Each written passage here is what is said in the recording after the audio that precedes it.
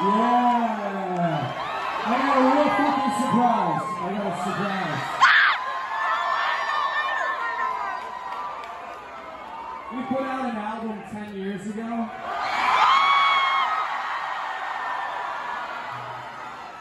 And you know, Matt makes the rules. So we're going to just play the whole album right now.